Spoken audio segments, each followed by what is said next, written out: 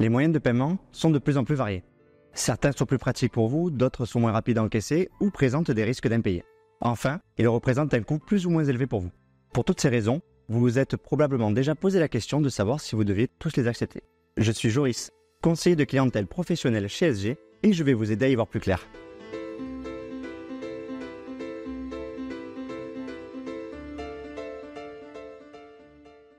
On commence par une question de Damien. Je vais reprendre une bijouterie. Dois-je accepter les paiements en espèces? Oui, Damien. Vous êtes obligé d'accepter les espèces. Jusqu'à 1000 euros pour un résident français et 15 000 euros pour un non-résident. Si vous ne le faites pas, vous risquez une amende de 150 euros.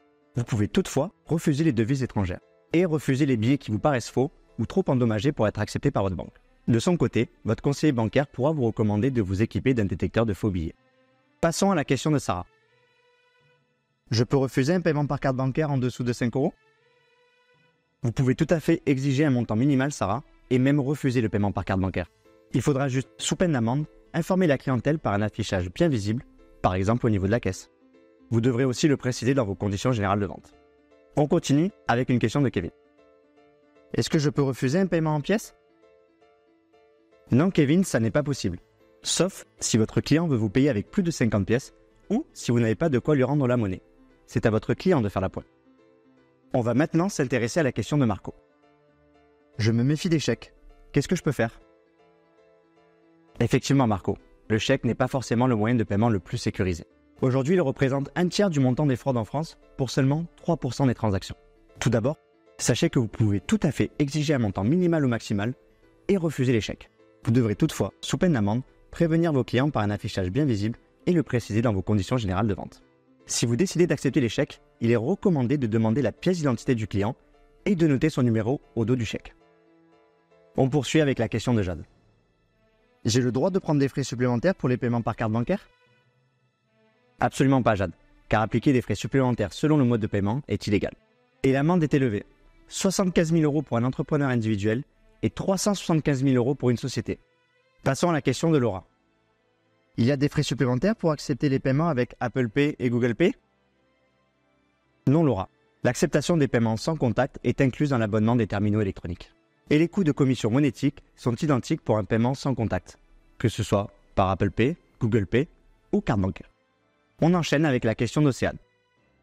Qu'est-ce qui se passe si j'accepte un chèque en bois ou volé? Si vous avez accepté un chèque sans provision, votre banque vous avertira par une attestation de rejet. Vous aurez alors 30 jours pour demander au débiteur de régulariser la situation, en alimentant son compte bancaire pour que vous puissiez représenter le chèque, ou en vous payant par un autre moyen. Si le chèque a été rejeté pour défaut de provision, vous ne serez pas facturé. Pour tous les autres motifs, si vous n'avez pas le service Jazz Pro proposé par SG, vous serez facturé selon la tarification en vigueur. Par ailleurs, quand vous encaissez un chèque volé sans avoir vérifié l'identité du client, votre responsabilité peut être engagée. Le titulaire du chèque volé peut en effet se retourner contre vous. Il doit pour cela prouver que vous avez commis une faute professionnelle en ne réclamant pas la pièce d'identité du client lors de la remise du chèque. Terminons avec la question d'Étienne. Comment limiter les risques quand j'ai beaucoup d'espèces en caisse? La plupart des banques proposent des assurances qui couvrent les fonds des professionnels, y compris lors du transport de la recette jusqu'à votre agence bancaire. Chez SG, c'est Ketis Pro qui s'en charge en cas de vol de votre recette ou de vos honoraires sur le trajet entre votre lieu d'activité et votre agence bancaire SG. Vous pouvez également vous équiper d'un coffre et l'alimenter pendant la journée pour ne pas laisser toute la recette dans la caisse. Et vous pouvez aussi faire appel à une société de transport de fonds pour mettre en place une collecte quotidienne ou ponctuelle. Nous arrivons à la fin de cette vidéo. J'espère vous avoir aidé à y voir plus clair sur les moyens de paiement dans le commerce. Rendez-vous la semaine prochaine pour répondre aux questions que vous posez sur un nouveau sujet.